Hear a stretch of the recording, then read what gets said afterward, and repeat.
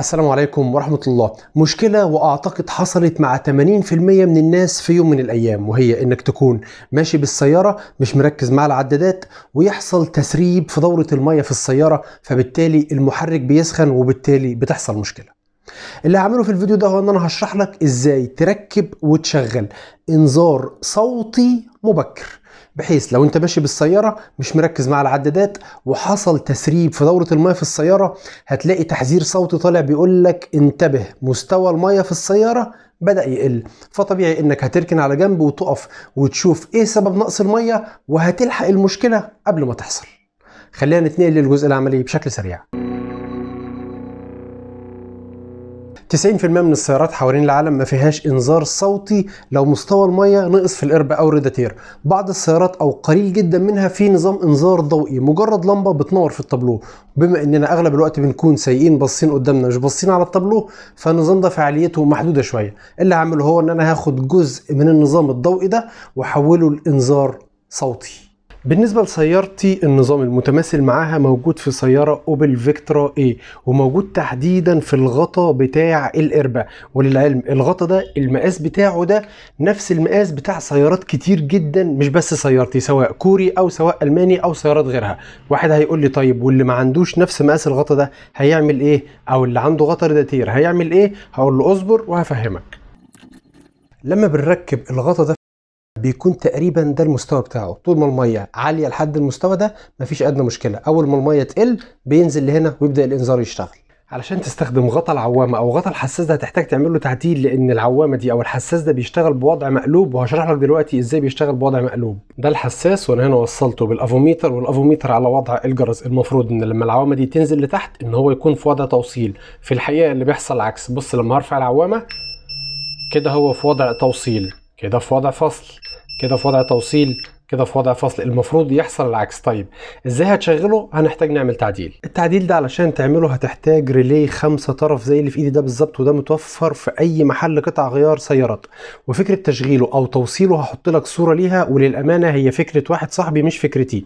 فأنا هسيب لك صورة واضحة بالتوصيلة بتاعته وبرضه هسيب لك صورة واضحة وكبيرة تحت الفيديو ده علشان لو لقيت إن الصورة اللي جوه الفيديو مش واضحة أو صغيرة. دي كده التوصيلة بتاعتنا زي ما هي مشروحة في الصورة. ده الجرس اللي هينبهك والمفروض إن انت بتثبته داخل طابلوه السيارة في أي مكان يناسبك.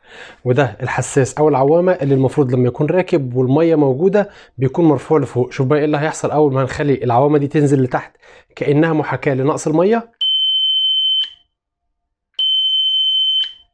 ونعمل دلوقتي تجربة حقيقية قبل ما نركب. القربة دي فيها نصها بالظبط مية أهو اللي هو المستوى الطبيعي بتاعها. هنوصل بقى المنظومة بتاعتنا.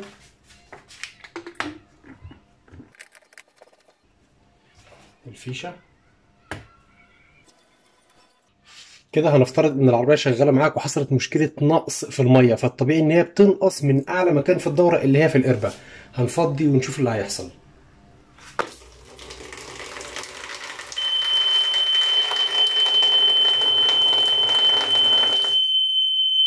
وده أصبح الوضع حاليا على أرض الواقع. ده الكتاوت أو الريلي وأنا مثبته هنا بإفزان ودي الضفيره اللي نازله منه. ده الطرف اللي داخل للحساس.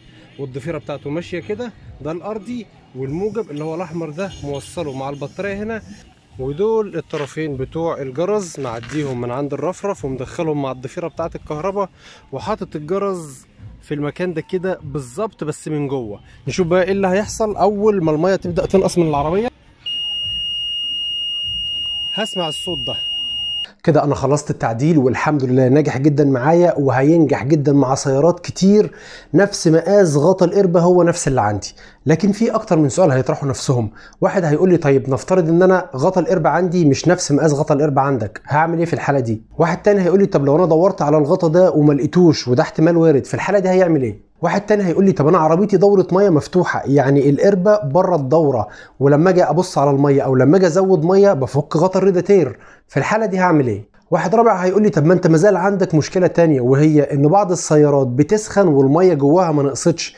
نتيجة مثلا إن الريداتير مسدود أو المراوح ضعيفة أو المراوح ما اشتغلتش وده حقيقي وارد في الحالة دي هنعمل إيه؟ والحقيقة أنا لما بدأت أفكر في التعديل ده وأعمله جه في ذهني كل الأمور دي. وبالتالي أنا حاليا شغال على تعديل عام يشتغل على أي سيارة باستخدام level sensor سواء كان العمودي أو سواء كان الأفقي ومعاهم temperature sensor ودي أدوات رخيصة بيتم استخدامها في مجالات صناعية بعيدة عن السيارات تماما. أنا طوعت الأدوات دي وبدأت أستخدمها بحيل معينة وأساليب معينة بحيث إن هي تخدم الهدف النهائي عندي وهو إن يكون عندك في السيارة نظام إنذار صوتي مبكر لمنظومة المية كلها. بمعنى لو المية بدأت تنقص في السيارة هتلاقي إنذار صوتي. لو المية بدأت تغلي في السيارة هتلاقي إنذار صوتي بحيث إن أنت تلحق المشكلة قبل ما تحصل. التعديل ده الحمد لله قطعت فيه شوط كبير وناجح لكن ما رضيتش أرفع الفيديو غير لما آخد رأي الناس اللي هو أنتم. يعني مثلا أركز على إيه وأنا شغال أو آخد بالي من إيه وأنا شغال أو أضيف إيه للتعديل ده بحيث إن الهدف النهائي من كل الكلام ده هو إن يطلع التعديل النهائي متكامل.